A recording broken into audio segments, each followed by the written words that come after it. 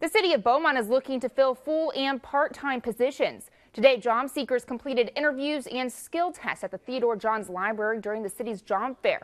Representatives from different departments were on hand to answer questions about the positions.